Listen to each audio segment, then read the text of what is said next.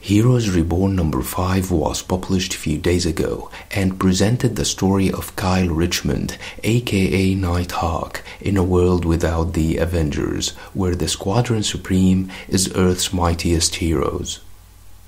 The book opens with Nighthawk recalling how his parents never wanted a son and how that was clearly stated to him as a child. They abandoned him to butlers and boarding schools before they got themselves killed. Kyle used to tell himself that all the work he did each night was for his parents and to make them proud of him, but those were the desperate lies of a lonely child in the dark. Meanwhile, Kraven the Hunter wearing Nighthawk suit opens fire and kills police officers.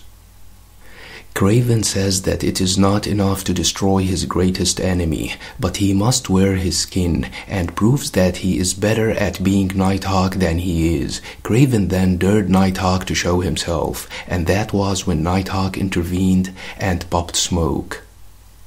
Nighthawk took down Kraven and left him hanging upside down for the officers. Commissioner Luke Cage then reported that Kraven is down, but the rest of the super psychopaths were still running loose in the Ravencroft Asylum. Nighthawk then entered the asylum to find that all the doctors and the nurses working in there were killed. He then found himself face to face with dozens of super inmates who broke free from their cells.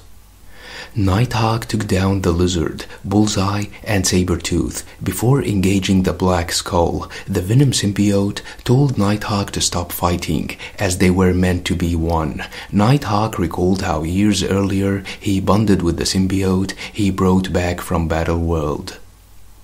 Before he broke up with Black Cat, she used to tell him that he needed therapy, but she did not understand that fighting crime was his therapy. Knowing that sound is one of Venom's weaknesses, Nighthawk hit Black Skull with loud noise and forced him to let him go. Nighthawk then confronted Deadpool, who was another psychopath imprisoned in the asylum. Deadpool broke the fourth wall, saying that he was not supposed to kill Nighthawk for story reasons before he was taken down.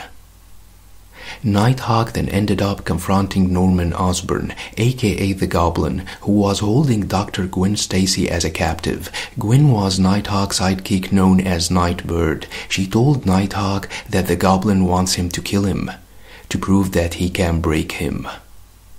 The goblin then dropped Gwen to her death, reminding Nighthawk how years ago he killed his sidekick the Falcon. Osborn injected himself with the Green Goblin formula all these years and went insane.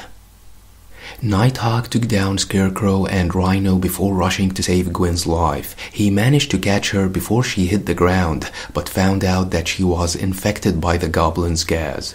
After her father was killed, Nighthawk trained Gwen to become Nightbird, or Night Gwen, as she liked to call herself. Nighthawk tried to take her down fast, but she proved skilled enough to block his hawkarangs and then to throw them at the goblin. She managed to hit him and took him down. He fell to the ground, saying that he always liked Gwen. Nighthawk took down Scarecrow who tried to attack, saying that he won't let Goblin die, but Goblin forced the Hawkarangs deeper into his head, telling Nighthawk to put him out of his misery. Nighthawk then reported to Cage that the asylum was clear, and told him to send the paramedics. The goblin then told Nighthawk that he wanted him to hear his last request. He heard the craziest things when he was in the cell next to the Silver Witch, who was taken down by Blur, as we've seen before. Goblin wanted Nighthawk to know on the behalf of all the psychopaths in the asylum that they do not want the world to change back, as Goblin liked it this way, and that was the last thing he said before he died.